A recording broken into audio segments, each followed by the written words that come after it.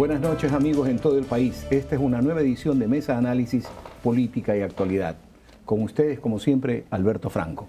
Esta noche vamos a tratar sobre el panorama económico del Ecuador y las políticas del gobierno de Guillermo Lazo para lograr reactivar la economía del país y estabilizar el retorno a esta democracia que habíamos casi perdido. Y así damos la bienvenida a Marlon Pacheco, docente de la Facultad de Economía de la Universidad Católica de Santiago de Guayaquil, y al ingeniero Edmundo Brown, experto en petróleo. Muchas gracias por estar con nosotros, Marlon. Muchas gracias, ingeniero Brown. Ah, bueno, muchas gracias a ustedes por la invitación y seguramente va a ser muy ameno todo el desarrollo de esta mesa. Don Edmundo, bienvenido. De igual manera, también agradezco la invitación y estamos dispuestos a conversar. Gracias, don Edmundo. Entremos en materia. Analizando el costo del combustible y para contextualizar, sería interesante leer estos datos sobre el precio de la gasolina en Latinoamérica y el salario básico en cada país. En Ecuador tenemos un salario básico de 400 dólares, el valor del galón de gasolina está en 4.20 eh, eh, el galón de gasolina eh, extra estaría en 2.57 2.60 eh, más o menos, 2.55, que es lo que acaba de fijar el gobierno. En el Perú el salario básico está en 257 dólares y el valor del galón de gasolina está en 428, en 4.28. En Colombia el salario básico 261 dólares y el valor del galón de gasolina en 2.30. En Uruguay y en los otros países más o menos tenemos diferencias fuertes entre el precio del Ecuador, el salario básico del Ecuador, de tal forma de que el Ecuador se constituye en el precio de la gasolina y del diésel más bajo de América Latina. A partir de esto, ¿qué tanto influye en el mundo económico del diario vivir este valor del, galón de gasolina? Bien, muy bien. Em, primero habría que diferenciar realmente quiénes son los usuarios constantes de la gasolina, ¿no? tenemos una clase media que utiliza su vehículo para transportarse, pero de repente la clase media puede pagar un poco más el galón de gasolina eco, ¿verdad? Pero sin embargo, eh, los quienes trabajan con la gasolina a diario, es decir, los transportistas, eh, y hablamos también pues de los agricultores o también pues de las empresas que utilizan el combustible, evidentemente van a sentir un impacto en su estructura de costos. Entonces, eh, si nosotros relacionamos el incremento del precio de los combustibles, por ejemplo, el diésel pasó a partir de mayo de 2020 a la fecha, ha tenido un incremento del 90%, pasó de un dólar el galón a 1.9. En el caso de las gasolinas eh, eco y extra, ¿verdad? Eh, ha tenido un incremento del 45%. Eh, sin embargo, estos incrementos en este periodo de tiempo terminan afectando a la estructura de costos de estos sectores. Entonces, si bien es cierto, la clase media utilizamos el vehículo una vez por semana, tanqueamos, pero en cambio el sector de transporte sí se ve afectado por esto. Eh, ¿Cuánto representa para el sector de transporte ese costo del combustible en su labor? tanto para el transporte de pasajeros cuanto para el transporte de mercancías. Por ejemplo, la gente que trae eh, productos eh, comestibles desde el interior del país o desde zonas cercanas a la ciudad de Guayaquil, ¿cuánto le afecta ese incremento? Sabe que justo me voy a referir a, a, una investigación que realizamos con los chicos acá de titulación de la Facultad de Economía del sector transporte. Entonces, ellos en su estructura de costos eh, estimaban que estaba entre el 35 y el 40%. Pero a la fecha, como el precio del transporte público, hablo específicamente de ese sector, eh, se mantiene, lo que hicieron fue justamente eh, reducir la participación de los operadores, es decir, de la mano de obra, para que ellos puedan mantener su margen de ganancia. Es decir, hay una estructura de costos, pero los costos se están ajustando pero se están ajustando justamente, pues, por lo menos en ese sector, de acuerdo a la investigación que estoy citando, en los trabajadores, en los operarios. Entonces, eh, sin embargo, a largo plazo o a mediano plazo va a ser complicado mantener esta estructura de costos sin que se vea afectado eh, el tema del precio. Entonces, aquí es donde el gobierno se plantea, se plantea alternativas. O ayudamos al sector que está golpeado por este incremento en sus costos de producción, o simplemente pues el sector ajusta sus precios y le traspasa al consumidor final. Y se convierte en más competitivo. Pero veamos también la parte interesante, el asunto de la producción petrolera y de la producción de combustibles. Ingeniero Brown, ¿qué tan, qué tan bien está la producción de combustibles en el Ecuador? Porque si somos un país que está en una producción media de 500 a 550 mil barriles diarios, con prospección a subir en 300 mil barriles diarios, la producción de combustibles en el Ecuador debe ser más fuerte, debe bajar, es mejor importarlos o es mejor acentuar la producción nacional. Bueno, yo quisiera añadir algo más que el licenciado pues no lo menciona, y es que con los precios bajos comparados con el resto de Latinoamérica, eh, lo único que hace es facilitar el contrabando al Perú y a Colombia, listo. En Colombia el precio está un poquito menos, pero en Perú no. De manera que yo creo que es el contrabando la única, digamos, una de las de los brazos de hacer negocios con, con los combustibles. Eh, las gasolinas y todos los otros derivados, los combustibles que tenemos en el Ecuador, se importan ahora, porque nosotros no producimos el, volumen suficiente ni la calidad su, suficiente eh, para el mercado nacional eh, que, existe en el Ecuador. De manera que el hacer los combustibles en el Ecuador requiere de productos importados, de todos ellos. Hablamos de gasolina extra, gasolina super, gasolina eco, jet fuel, diésel, diesel premium, diésel eh, industrial, eh, hasta el asfalto. Si se quiere, hasta el asfalto se podría incluir en la lista de productos importados. Todo lo, todo lo importamos. Quiere decir que la mezcla de, la mezcla de los elementos que tenemos eh, es indispensable con, con, otros productos que eh, eh, cumplen las normas internacionales, las normas de euro, las normas de Estados Unidos, etc.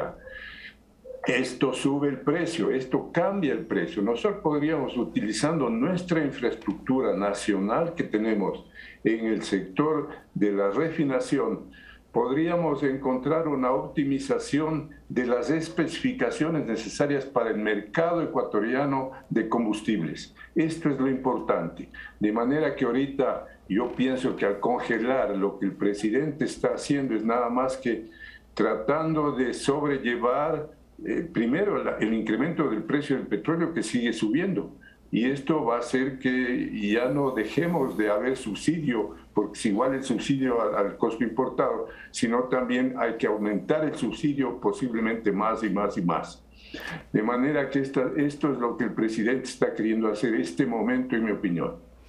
Dada la observación que hace eh, el ingeniero Brown, este posible incremento del subsidio, ¿hasta qué punto va a hacer daño al país y hasta qué punto se deberá de focalizar para beneficiar a los sectores que realmente eh, tienen como motor o como matriz de su funcionamiento, de su operación, el uso de combustibles. Bien, este, yo quisiera complementar eh, la idea antes de ir a su, a su pregunta. Em, a largo plazo, digamos a mediano plazo, necesitamos pasar de combustibles fósiles a otro tipo de energías. Eso lo tenemos claro por el gran impacto ambiental que tenemos, ¿no es cierto? Em, de tal forma de que subsidiar este tipo de combustibles como que es contraproducente contra el objetivo de la humanidad en este momento, lo que necesitamos, precautelar el bienestar de nuestra casa, la madre tierra. De tal forma de que por concepto eh, no deberíamos subsidiar la producción ni el consumo de los combustibles fósiles. Esa es como un primera, una primera idea. ¿Hacia dónde variaríamos? Eh, justamente se tienen que buscar nuevas alternativas. Eh, leyendo y qué es lo que está pasando en el mercado mundial, por ejemplo, los productores de esquisto en Estados Unidos, los productores de, de petróleo en Estados Unidos, actualmente no están haciendo inversiones en pozos, en nuevas perforaciones. Lo que están haciendo es esperar recibir sus retornos de los pozos que tienen operativos y por otro lado están buscando e financiando también nuevas formas de, eh, de energías. De tal manera de que, de que se está llegando el momento en que estas tecnologías van a madurar las nuevas formas de producción, las nuevas formas de energía, y, y realmente podríamos decir que hacia allá deberíamos ir. Claro. Precisamente para poder analizar nuevas formas de uso de energías o variabilidad de energías, volvemos en el siguiente bloque. Vamos a hacer una primera pausa en Mesa Análisis Política y Actualidad. Volvemos enseguida. Muy bien, muchas gracias.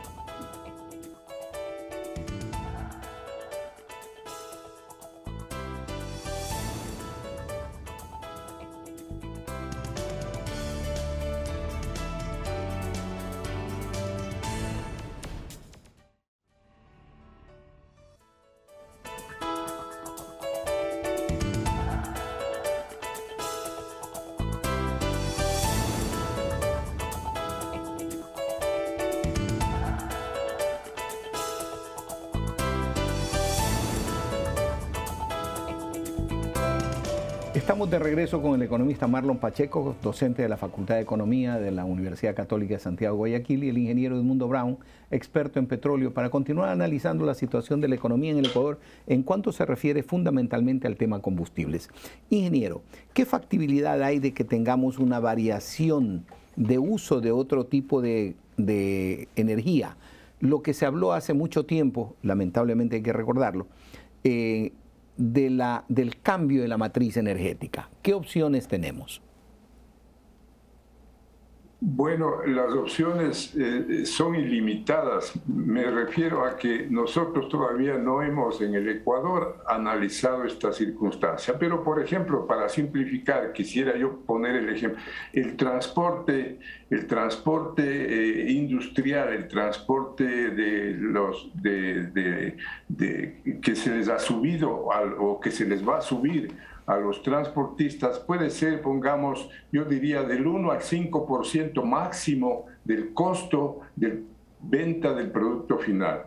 1 al 5% máximo. Si decimos que ese es el costo que tenemos disponible, que esa es la posibilidad de cambiar, eso es la posibilidad de cambiar, porque esa es energía, entonces tendremos de 1 a 5% en dinero, en inversiones, tal cantidad de plata con ese dinero podríamos comparar lo que nos cuesta producir ese mismo sistema de transporte, reemplazarlo con otro tipo de energía que puede ser energía solar, energía eh, del viento, energía de, las fuentes eh, de, las fuentes subterráneas, de los pozos, de los pozos donde se produciría la energía.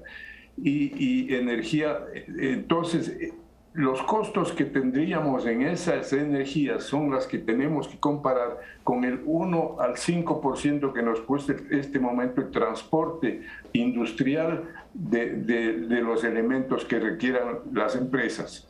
Acaba, acaba de Como no se ha hecho este estudio, ni se han establecido las leyes ni reglamentos para este, ni los incentivos para que las industrias cambien, entonces eh, todo eso está en el aire este momento. No tenemos posibilidad de hacer una, hay que hacer los estudios, hay que hacer las políticas para esto y mientras esto sucede, tenemos felizmente el petróleo. Eh, los años que tenemos el petróleo no son tampoco muchos años. 3 mil millones de reservas petroleras. Esto se va a acabar en 10 años si usted le divide para, para el la producción que tenemos que hacer cada año. Entonces, se acabará el petróleo y nosotros no hemos resuelto el problema. Hay que, hay que empezar ahora, yo estoy de acuerdo, hay que empezar ahora a conversar de este asunto que es fundamental para el desarrollo del país, el desarrollo industrial, el desarrollo de todos los esquemas que consumen energía, hasta las casas. Nosotros en las casas utilizamos energía eléctrica para el agua, para la cocina, para calentarnos eh, y, y la limpieza, etc etcétera. Estas energías se tienen que reemplazar a futuro con la energía que nosotros les recomendemos o que los empresarios han descubierto que pueden reemplazar al petróleo. Dentro de lo que acaba de decir el ingeniero Brown, es algo interesante. Usted hace un momento nos habló de que dentro del costo operativo de un vehículo hablamos de un 35% del costo del combustible. Pero el costo de ese transporte, ¿en cuánto incide en el valor final del producto?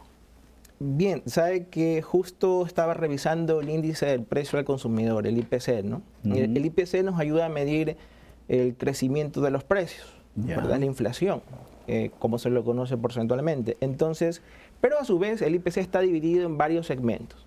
Un segmento particular es el segmento pues, de transporte, que tiene su propio índice de precios al consumidor. Em, en los últimos cuatro meses se nota un crecimiento del índice de precios al consumidor en el sector de transporte. Si nosotros vemos el índice de precios de un año hacia acá, anualizado, el crecimiento es del 6%. Entonces, em, si bien es cierto, hay estudios que indican cuál es la estructura de costos, eh, hay otros análisis que dicen cómo puede impactar directamente al costo del almuerzo, por poner un ejemplo. Lo que sí tenemos claro y medido justamente por el índice de precios del consumidor del sector transporte es que hay un crecimiento importante en dolarización. En dólares, un crecimiento del 6% anual es un, valor importante. Eh, entonces, eh, más allá de cuánto afecta o no, ya tenemos esta medición, eh, lo que sí está claro es que el ser las gasolinas un bien intermedio, un bien que se utiliza para producir otros bienes, va a tener su efecto en la inflación. Como el primer ejemplo que tenemos es el sector transporte, seguramente eh, puede afectar también a otros rubros. Todavía no se puede visualizar el efecto. El problema que tenemos en este momento para poder hacer la transferencia de tecnología de un tipo de, combustible, como un combustible fósil, como son las gasolinas, el diésel, etcétera, hacia otro tipo de energías limpias, como por ejemplo la energía hidroeléctrica, que serviría para eh, alimentar las baterías de los buses, es un problema estructural, ingeniero. se desarrolló el tema de las gasolinas porque se pusieron las gasolineras. ¿Qué factibilidad hay de que se desarrollen sistemas que apoyen al uso de energía eléctrica, por ejemplo, en el sistema de transporte?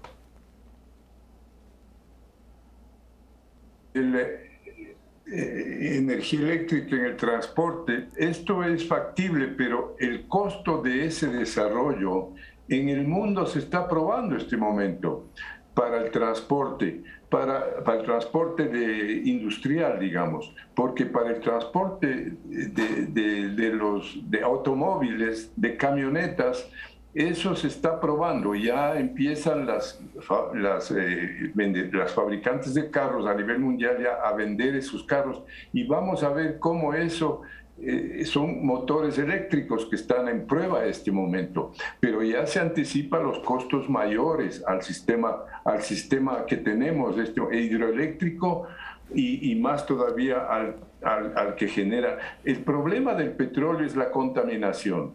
El primer problema que tienen que hacer es resolver la contaminación que produce el petróleo con los diferentes elementos que forman parte del petróleo. Tenemos el azufre, es terrible, se forman el, compuestos de azufre. Tenemos el carbono que forma compuestos, gases con, con el carbono. Y tenemos eh, residuos que tienen otro tipo de, elementos que también hay que separarlos, de manera que ese es el problema del petróleo.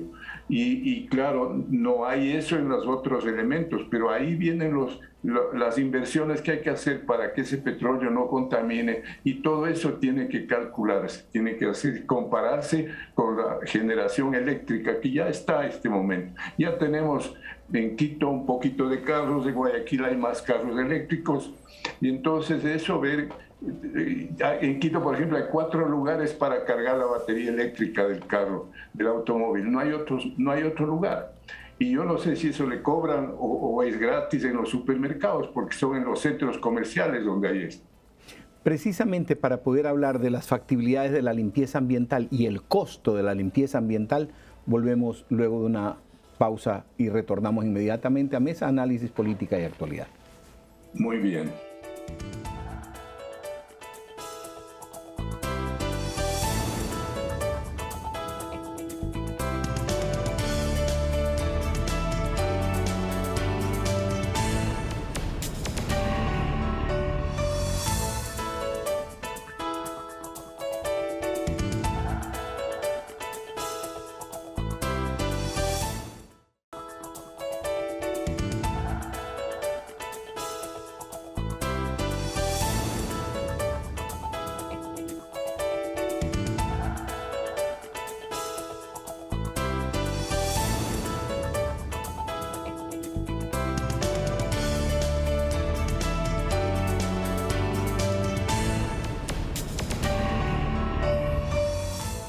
De regreso en Mesa Análisis Política de Actualidad, nos encontramos conversando sobre las políticas del uso de la energía, del uso del petróleo, los tiempos que nos quedan y el cambio hacia un nuevo sistema. Marlon, hablaba el ingeniero en el segmento anterior de la variabilidad y tocó un temita ahí de paso, la limpieza del ambiente a partir del uso del petróleo, la contaminación ambiental, que tengo entendido, y eso nos lo va a decir luego de un momento el ingeniero, tengo entendido que abona al tema del calentamiento global. ¿Cuál sería el costo o por dónde estaría el costo o cuáles serían los costos mayores o cómo se debería enfocar este costo de limpieza ambiental, de remediación ambiental a partir del uso de los combustibles fósiles? Bastante interesante. A ver, cuando hablamos de costos, eh, tenemos un costo de remediación ambiental, pero también hay eh, otros tipos de costos. Por ejemplo, la inversión en nuevas tecnologías.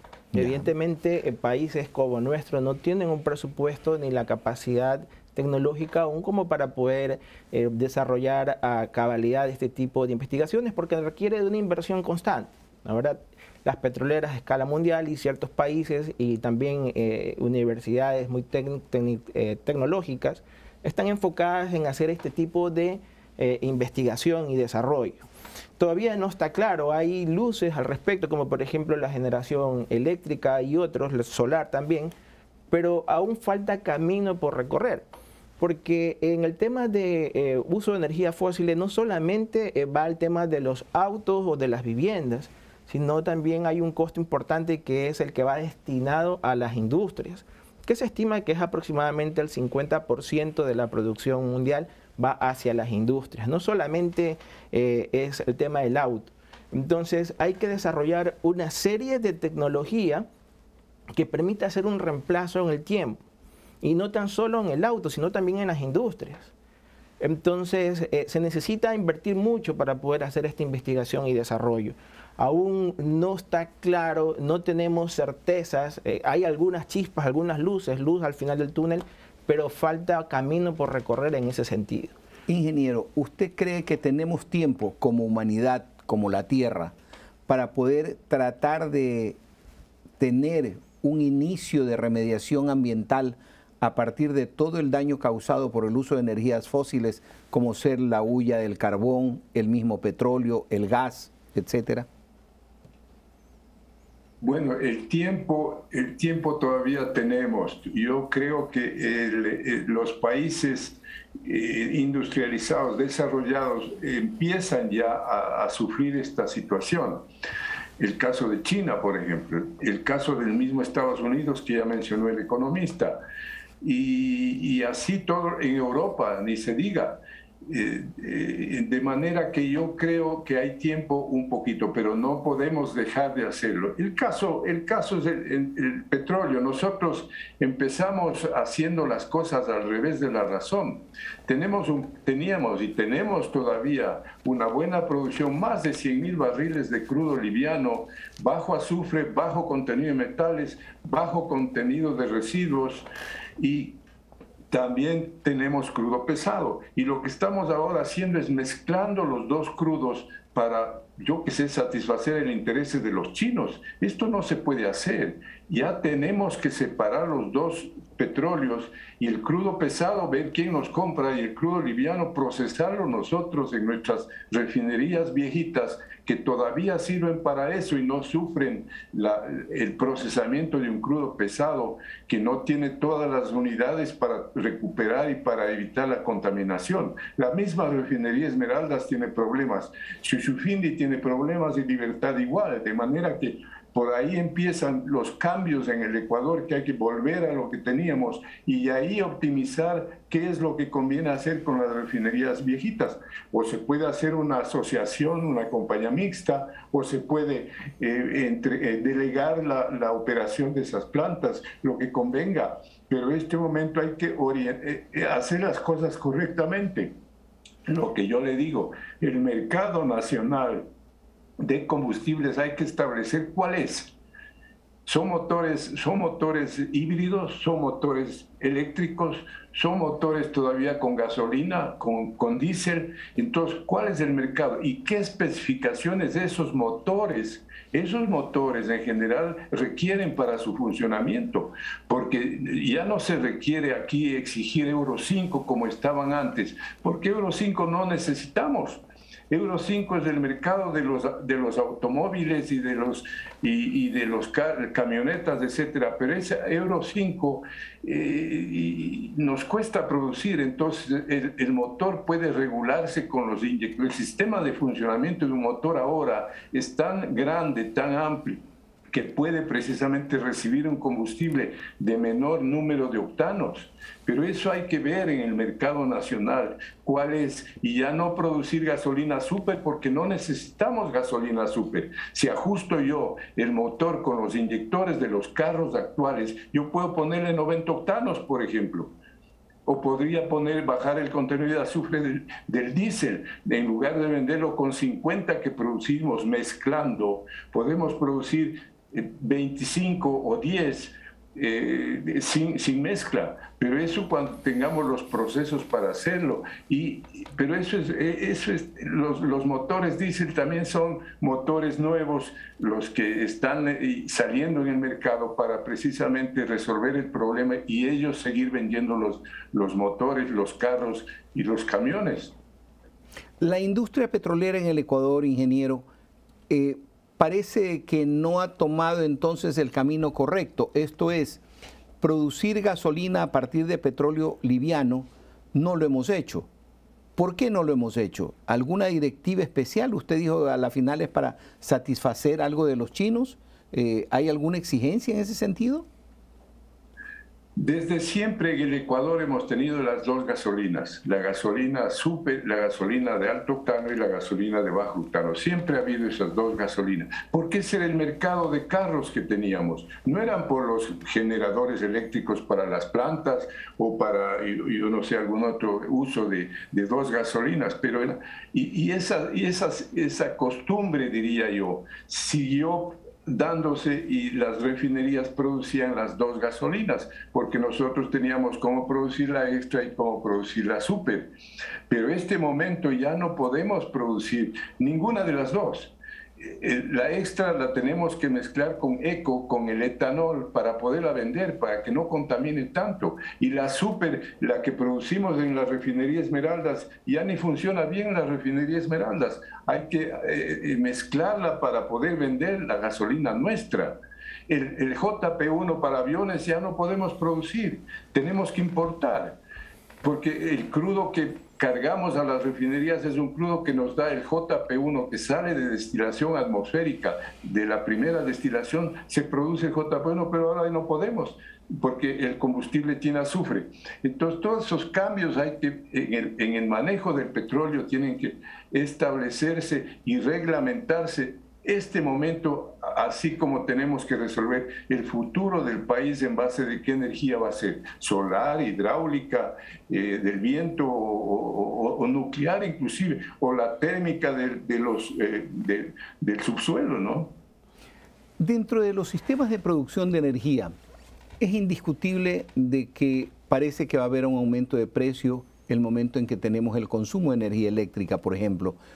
¿qué sería aconsejable para que la gente se vuelque al consumo de energías no fósiles, eh, como ser energía eléctrica proveniente de las hidroeléctricas?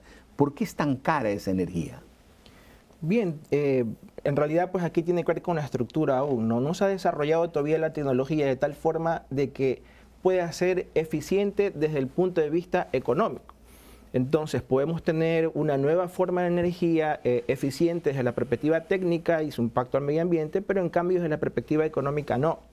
Eh, de tal manera que la madurez, el desarrollo y la investigación de todos estos nuevos eh, formas de producción de energía en el momento en que sean asequibles o tengan por lo menos la misma relación de costos con la energía fósil, entonces seguramente se va a dar esta transición. Mientras esto no suceda, mientras el costo sea aún más elevado, no va a suceder el, cambio, por una parte. ¿Y por, qué no, ¿Y por qué no baja el costo? Porque aún no están maduras estas tecnologías. Entonces, eh, todavía falta tiempo para que, por ejemplo, el automóvil eléctrico llegue a ser competitivo con respecto a los otros autos de combustión, de fósiles. Entonces, sé que hay algunos, algunos ejemplos. Por ejemplo, en China ya hay una producción en masa, economía a escala de autos eléctricos que tienen un costo muy bajo. Pero estos, estos cambios recién se están produciendo en la industria, utilizando el símil de la industria de autos. ¿no? Lo mismo pasa en otros segmentos. Para terminar, eh, ingeniero, usted habló de que tenemos petróleo para unos 10 años todavía. ¿Eso quiere decir, en, eh, tomando la perspectiva de lo que tenemos en prospección petrolera, de lo que tenemos en reservas eh, detectadas, confirmadas, o más o menos es un cálculo solamente por la literatura que se llega a conocer? No, esas son las reservas, las reservas probadas y disponibles, no, no, no es otra. Eh, son más o menos unos 3 mil millones de barriles que están disponibles y eso divídale para 200 mil. 200 eh, millones que producimos, que necesitamos cada año o que consumimos cada año, más o menos 10 años, si es que no se hacen más exploraciones de petróleo. ¿Eso es a nivel mundial o en el Ecuador? pesado. El crudo pesado hay que seguirlo produciendo, pero cumpliendo, cumpliendo bien las leyes, ¿no? cumpliendo bien los reglamentos y, y la gente que vive al lado, etcétera. De manera que eh, el, el, manejo del futuro está eh, en que se hagan los estudios a tiempo. Yo creo que, por ejemplo, las universidades deben colaborar este momento con todo el desarrollo de tecnologías para cambiar la refinería Esmeraldas, porque la refinería no produce combustibles dentro de especificación, hay que mezclarlos definitivamente. Lo que produce Esmeraldas no se puede vender, hay que mezclarlo. Entonces, para cambiar eso, solamente allí hay que, hay que poner el sistema de calentamiento, el sistema de generación eléctrica, el sistema de, de producción de gas sin azufre, sin producción de, a la atmósfera de nada malo. Entonces, ya Esmeraldas requiere este momento una nueva inversión, por lo menos de unos 2 mil millones de dólares anuales como Esmeraldas. Y si no, mejor todavía, hacer una compañía mixta con alguien que le interese desarrollar estas cosas y eh, hacerlo en la forma moderna, en la forma utilizando las tecnologías actuales o las que se pueden desarrollar en el futuro. ¿Es conveniente explotar el Yasuní, ingeniero?